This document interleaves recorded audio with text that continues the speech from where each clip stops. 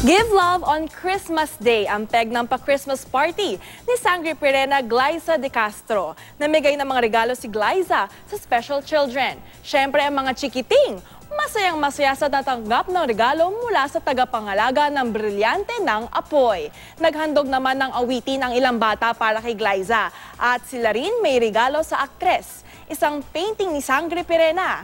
Inorganize ng fans club ni Glyza ang nasabing gift-giving event.